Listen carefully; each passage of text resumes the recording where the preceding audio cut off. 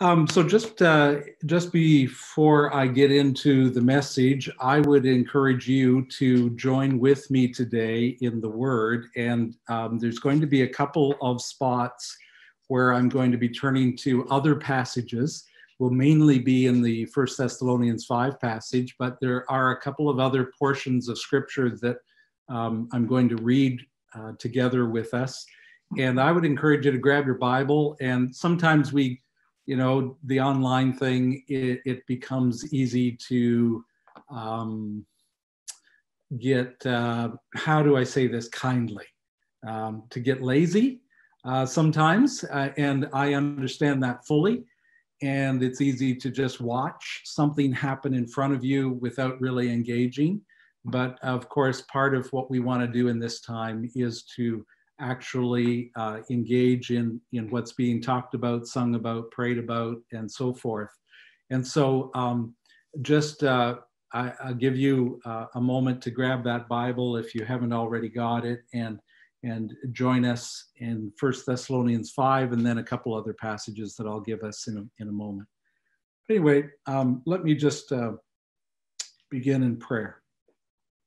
Heavenly Father, thank you for uh, the service that we've uh, been a part of so far and uh, everyone who's uh, participated in that. Thank you for the body of Christ and, and thank you for the way that we are able to minister one amongst another, even in this um, uh, limited way. And so we give you thanks today for your word. And I pray that you would use it to encourage and strengthen and uh, draw us to yourself uh, I pray that as we spend this time together, um, your words would sink deep within our heart and that we would just be um, uh, strengthened to carry on serving you, living for you, and, and walking with you day by day. And so may your Holy Spirit uh, do that work within each of our hearts, we ask. In Jesus' name, amen.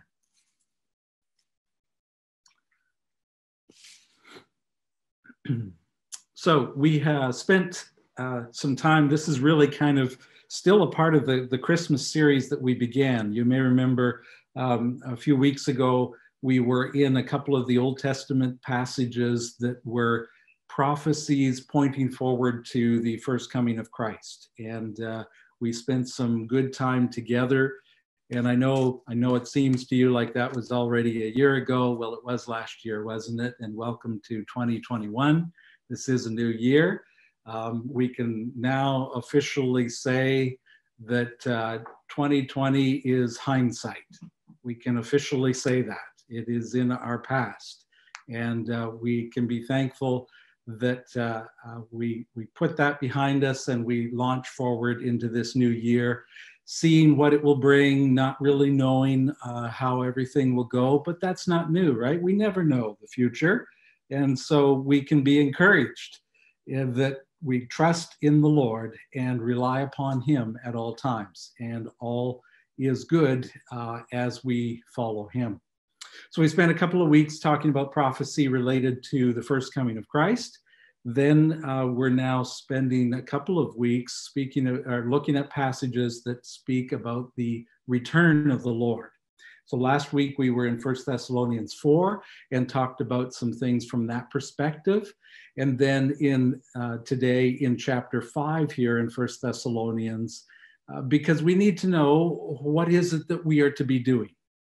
Um, if, if the Lord is to return, and he is, then what are we to be doing as we await that return? Do we simply um, sit on our hands? Do we just kind of uh, uh, do whatever we want? Or, or is there a, a, sense in which God is calling us to live a certain way until he returns?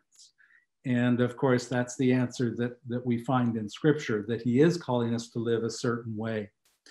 And um, we, don't, we don't spend as much time as we should talking about the return of the Lord. I think there are times that we neglect that. We get so caught up in the here and now and in what's happening this uh, week or this month. And we're looking at things from our perspective and how we're feeling or how something affects us. and we're not looking at the bigger picture necessarily. So the start of the year is a great time for us to look uh, to the Lord and to really uh, get His perspective. And the early church clearly had this anticipation of the Lord's return. And so we want to have that as well. So the passage here in front of us is, is very helpful, very instructive. And so we'll just kind of walk through a few things here. Uh, what are we as believers to do as we look to the future and await the return of the Lord? Well, I would say the first thing it tells us is that we're to be aware, to be aware. Begin reading at verse 1 of First Thessalonians 5. Concerning the times and the seasons, brothers, you have no need um, to have anything written to you, for you yourselves are fully aware that the day of the Lord will come like a thief in the night. And he's saying you are fully aware already. In other words, you have been told this already. And he's clearly speaking to believers here, and they've already received some instruction in the things of the Lord. And um, they are to be reminded of those things. But it is good for us to be aware to, to be aware of the facts. And we talked a bit about that last time in relation to what we would refer to as the rapture spoken of in, in chapter four. But then in chapter five, we've got this general phrase for the day of the Lord. And, and that phrase can, can mean different things. Sometimes it's a general uh, phrase to refer to all of the events and moments that happen uh, when the Lord returns, all the things connected with that. Sometimes it's referring to a specific aspect within that.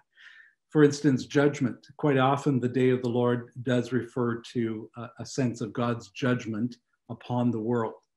And um, sometimes it's even referring to a specific period of God's judgment. Uh, uh, the tribulation would be an example of that. That seven year period referred to specifically as a part of that day of the Lord. So you get different ways that that phrase is used, but it is a very important part that we focus ourselves upon that, that we look forward to what God will do in these moments, in, in this day in which He is to return. And so, as part of that, then, um, we are aware of the fact that He's coming back. How do we know this? Well, you and I are blessed to have the Word of God, which uh, tells us in many different places about His return. So uh, come with me to a, probably a passage that some of you already think of when you are um, are reading these verses. If you were to compare, maybe I'll give you a moment and say to those in the room, what passage do you think I'm going to turn to now that would refer to some of the same things that are being spoken of as in First Thessalonians 5.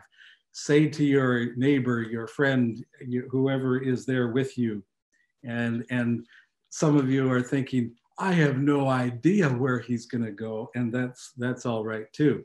Um, some of you are thinking, I think he's probably going to go to Matthew chapter 24 right now. Well, you would be exactly right. Matthew chapter 24. And I'm just going to read uh, some verses there. So I'm going to give you a moment to turn there, Matthew chapter 24. And I'm going to begin reading the, the entire chapter 24 and 25 are really applicable to uh, this day of the Lord and, and everything connected with it. But I'm just going to begin at verse 36.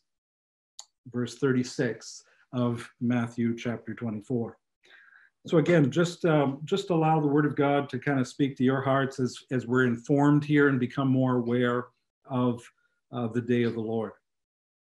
It says in uh, verse 36, but concerning that day and hour, no one knows, not even the angels of heaven, nor the Son, but the Father only.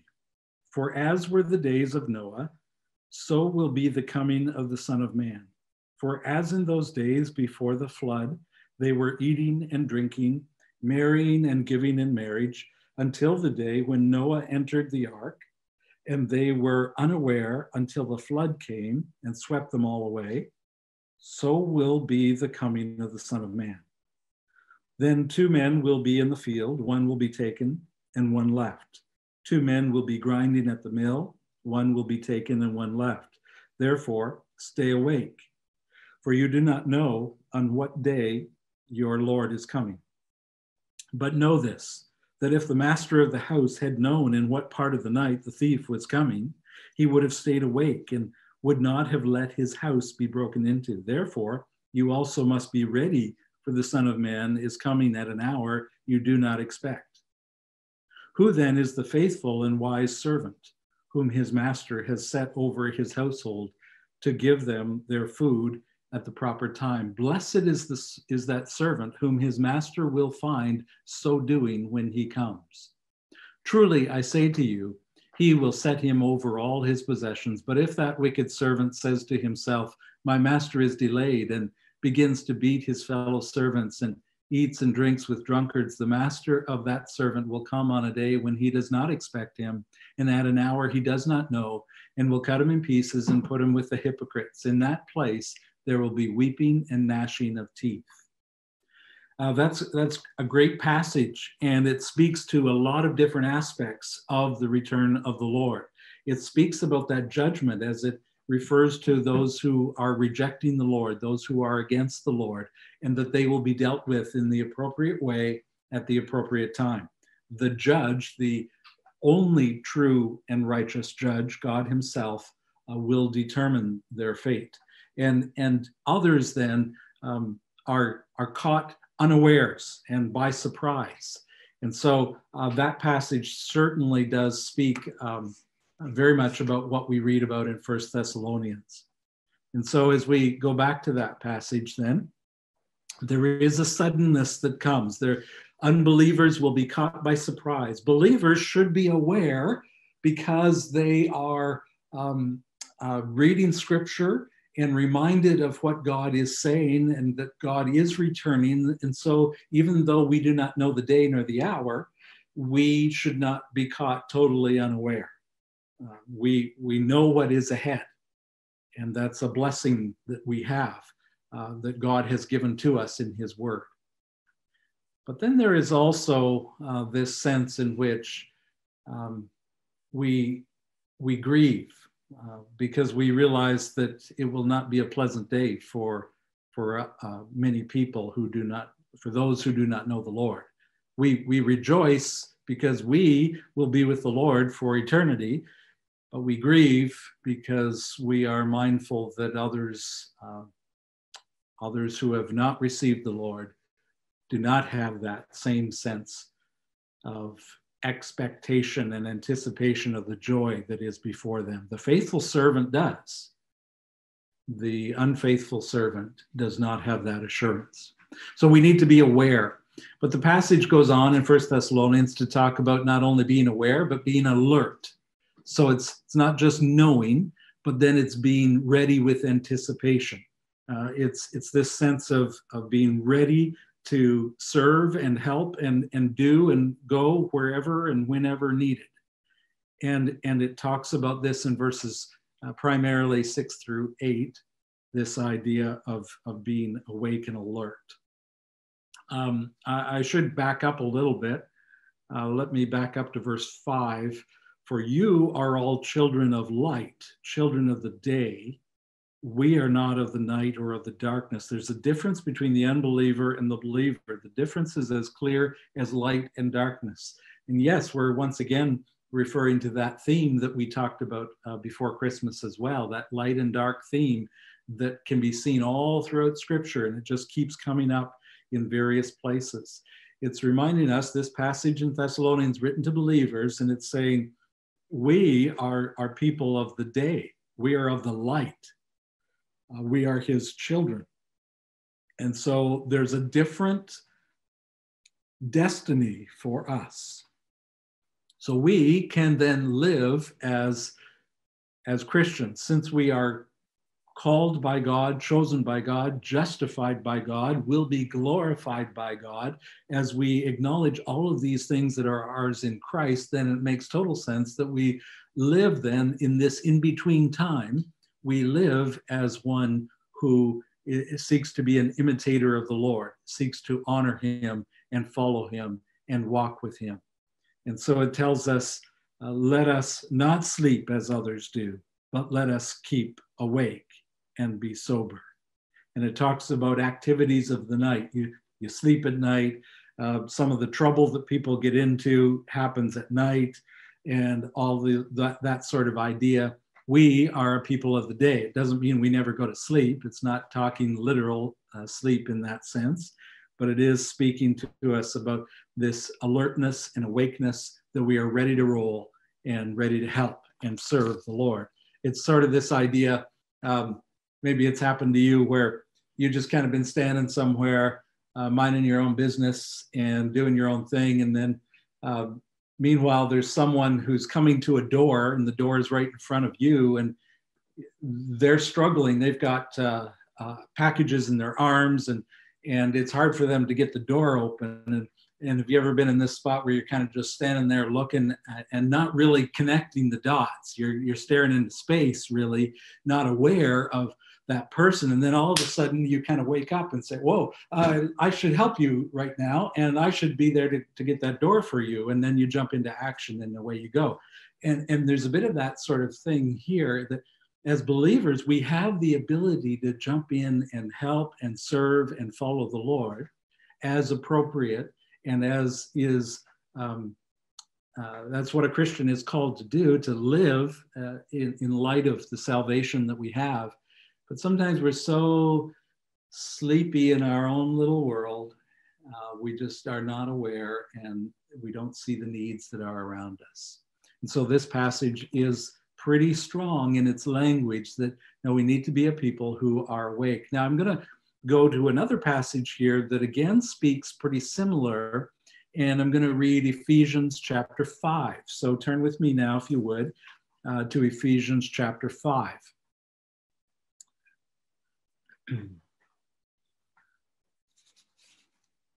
Ephesians 5, and here's what it says Therefore, be imitators of God as beloved children, and walk in love as Christ loved us and gave himself up for us, a fragrant offering and sacrifice to God.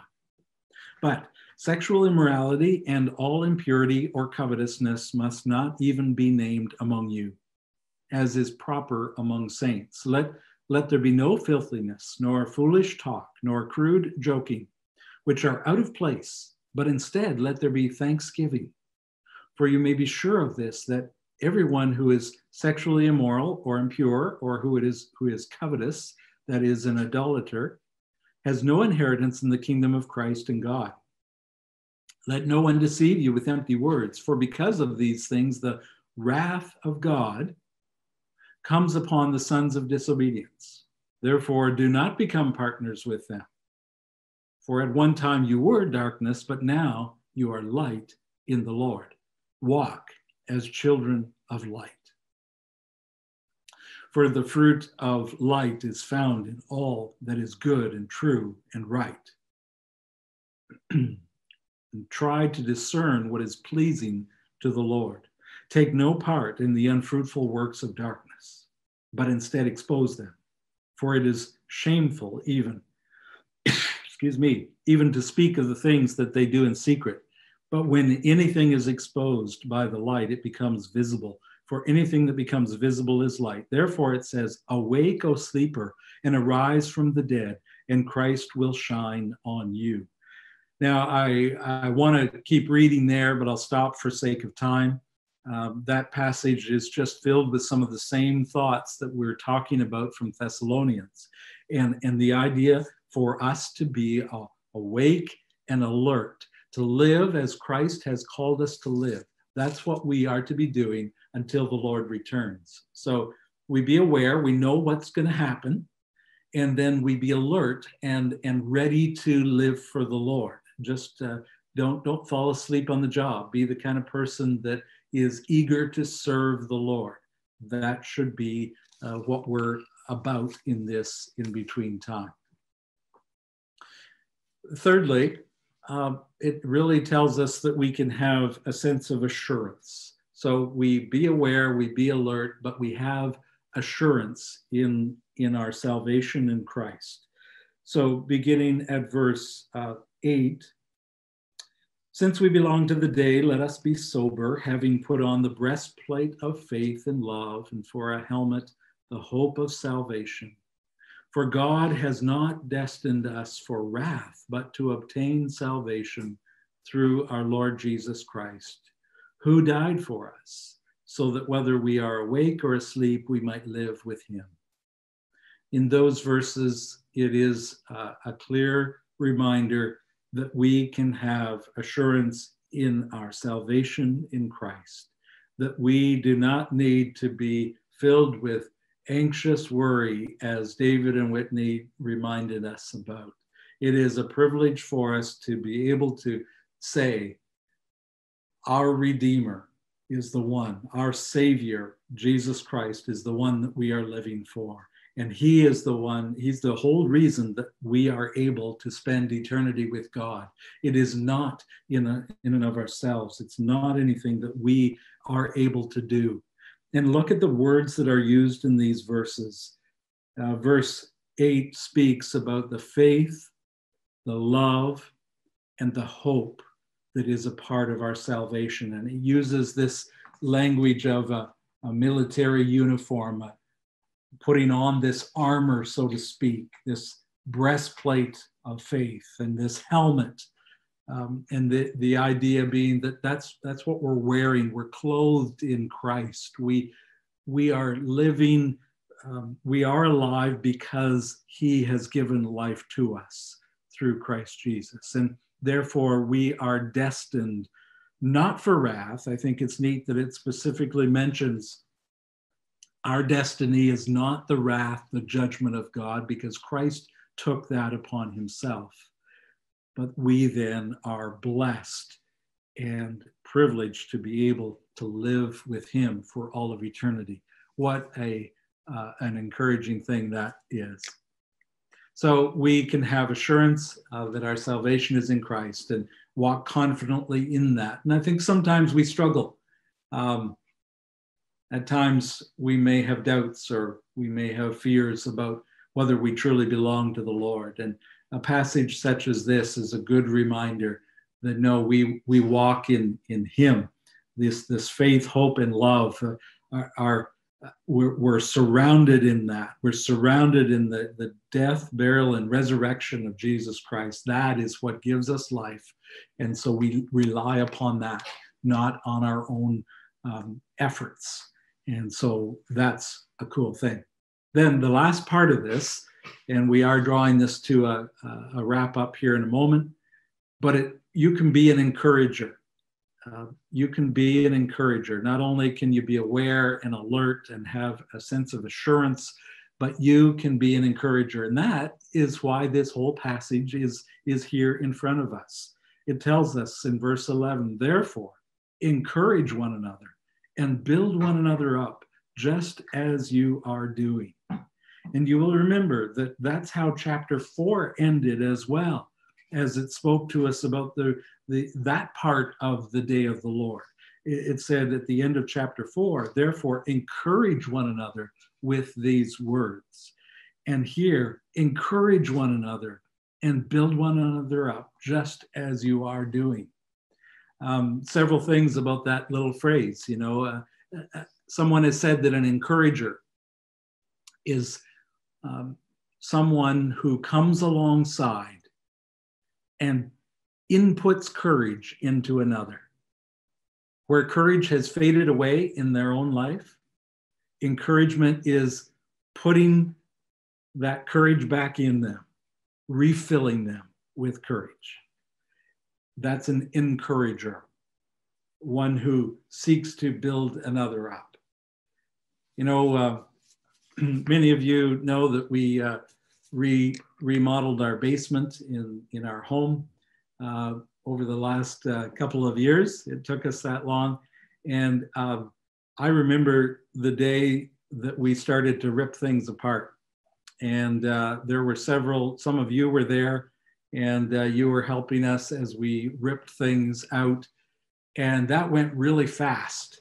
And I found that I could do that pretty well because it doesn't take a whole lot of skill to destroy something.